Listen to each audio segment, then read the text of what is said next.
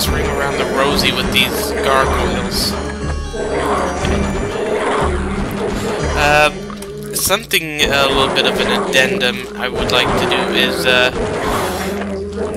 uh like the one that uh, disowned Caleb is apparently called Tchernobog or Tchernobog. Kind of uh, reminds me of, um, was it in Fantasia? Uh, the Disney thing, the devil at the top of the... Oh, come on! That surprised me. Anyway, yeah, like the... I think the devil at the top of the mountain in Fantasia had a similar name. Uh, Fantasia was definitely a great movie, by the way. Uh, I would recommend seeing it, like, just once, just for the novelty of it, I suppose. Because it's... Um, mm, it's like... It's old Disney. It's not like the new, like, really insanely cutesy Disney. You know, the kind that makes you want to rip your hair out and poke your eyes out. You know, that Disney. Definitely, like, really the old school Disney. So those don't blow up. Even though they have gas written on them, they don't blow up. Why? I don't know. Anyway, yeah.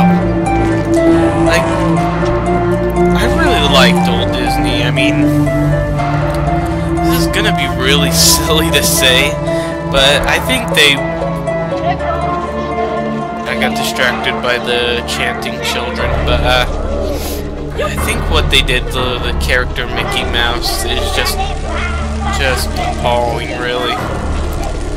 Turned him into like a Dora the Explorer clone or something like that, except without speaking Spanish or uh, going on an adventure for the most part. But um, like, I don't know if I just feel that if you look like the old Mickey Mouse cartoons, they had a lot of uh, character to them. Oh shit. No, wait. What? Not happening. No freaking way. Not even with the pitchfork. Anyway.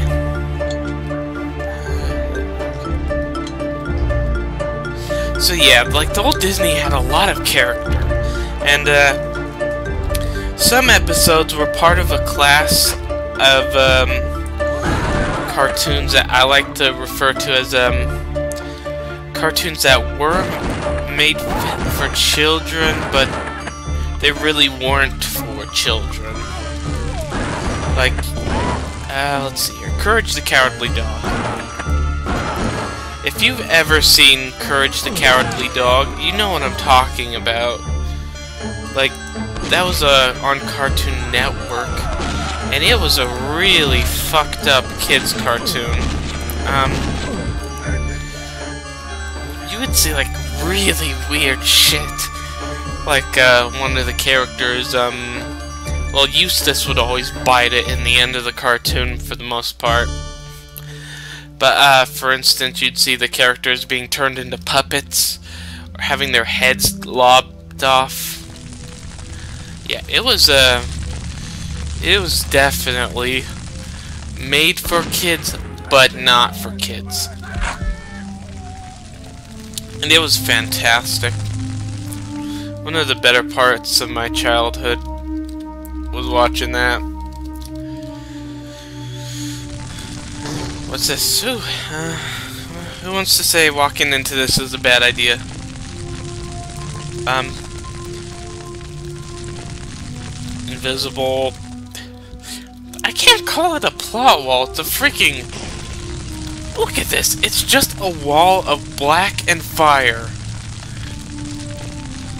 And I could roast hot dogs on it. Anyhow, yeah, like...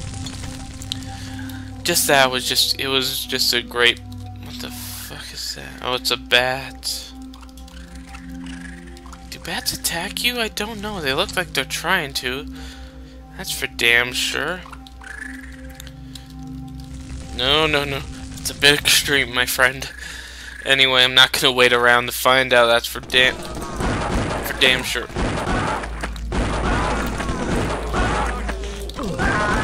Okay, time to pull out the heavy artillery. No, no.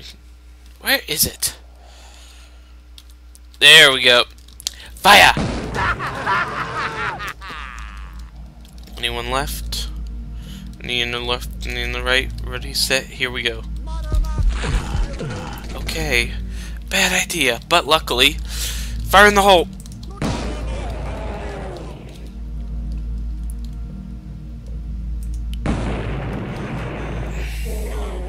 Oh shit.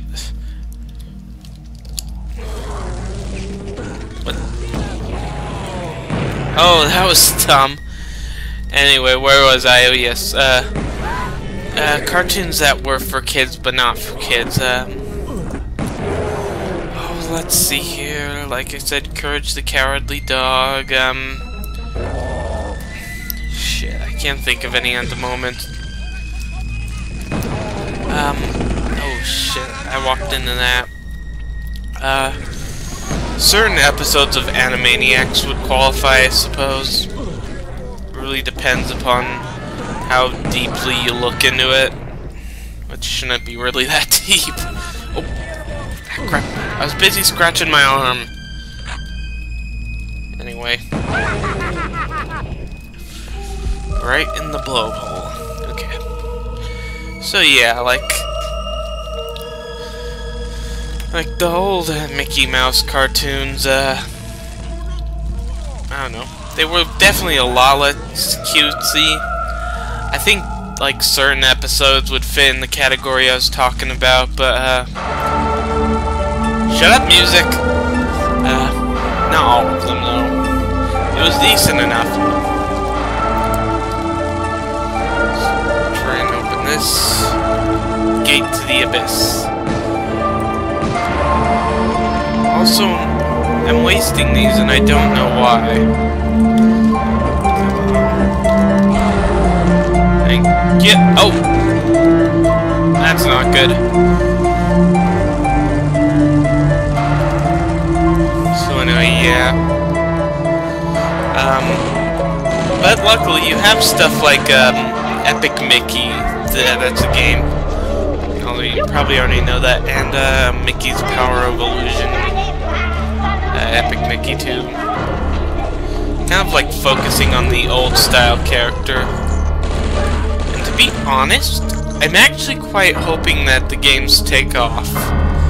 Just solely because maybe we can get something different than the cutesiness that have uh, been reduced to.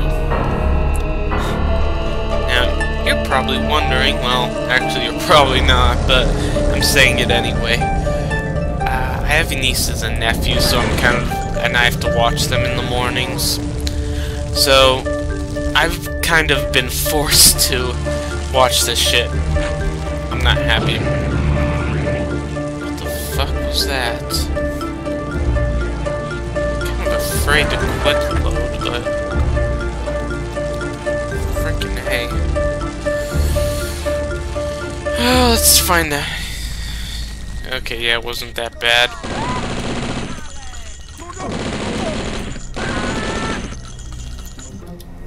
So, yeah.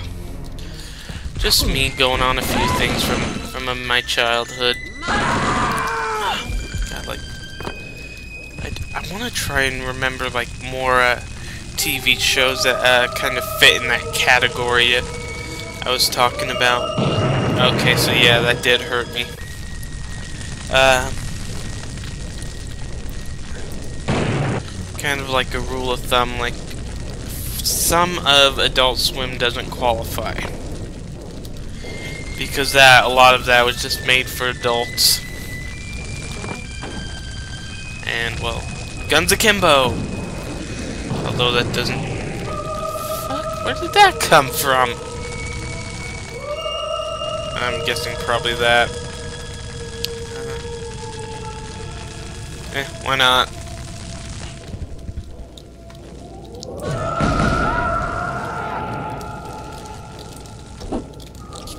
Hey, dual-wield pitchforks.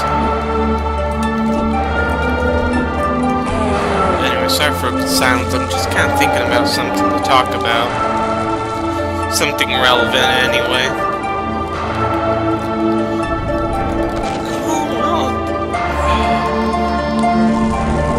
Definitely, uh, the stage definitely kind of fits in with the whole cult aesthetic, I suppose. I mean, really, what do you want? Honest, I would prefer to see some kind of, uh... Cath giving me the creeps. I would kind of prefer if, there, if it looked like a bit Cthulhu-like. Now, I'm not like a huge fan of Cthulhu. I like the games, though. Uh, the few that actually have been released. Uh, the adventure games are quite good. Maybe I'll do those in the future. Um, I know, like, the Xbox game was relatively good, pending some bad design choices. Uh, Eternal Darkness is fucking fantastic. I can't give enough good praise about that game. Shame what happened to Silicon Knights, Silicon, however you want to put it. Our chances of getting a sequel are very dim, let's be honest. But great game. Uh, multiple ways to play it, multiple paths to take, uh, three paths, really. And you get a bonus ending if you do all three. what? Sneaky little bastards anyway. But yeah, all in all, like, that's a game I would recommend to you. Not... Oh god. I'm getting axed. Question? No. Uh... That's a game, uh, Eternal Darkness is, uh... That's a game I would as far as say, if you don't play it, you're missing out on probably one of the best experiences you'll ever have with video games.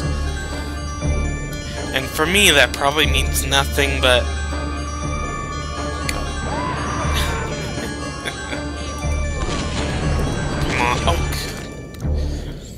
This is what I mean about the aiming. Oh, son of a bitch.